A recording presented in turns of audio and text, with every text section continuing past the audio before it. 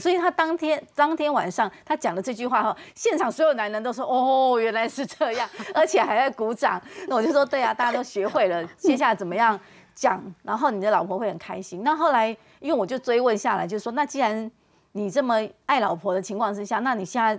我让你用写的哈，你这个时间点，因为明天就是情人节，那你最想要对你老婆说什么话？这样子，就他就停顿了，大概只有三秒钟，他就写了这四个字。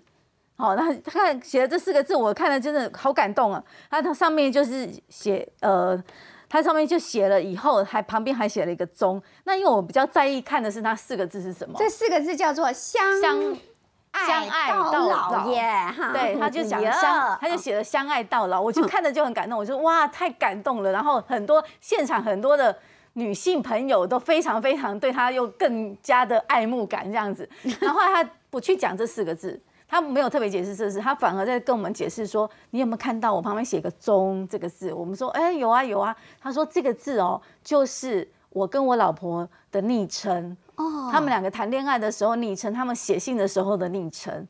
那我说，那你怎么称呼你老婆？他说啊，那我要问过他，他同意我才能讲。哎呦，还秘密耶！对对对，所以我觉得他其实是真蛮尊重，也蛮尊重他的老婆。我觉得那是一种一种疼爱的方式。所以呢，在场其实我觉得他已经虏获了很多妇女的票了。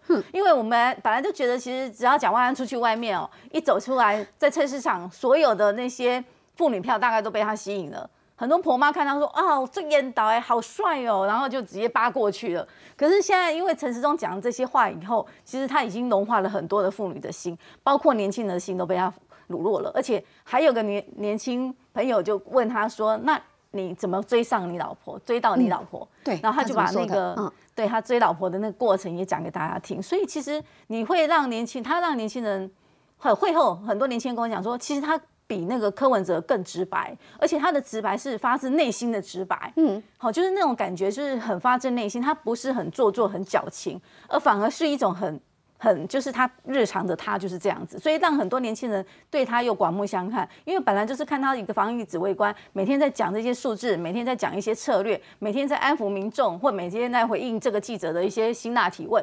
但是就是没有看到他很软的这一面，所以昨天这样子的一个场合营造下来以后，其实我觉得很多的年轻人对他其实就开始有不同的。可是淑华目睹哈，他怎么样在没有心理准备之下被年轻的学生问这个问题？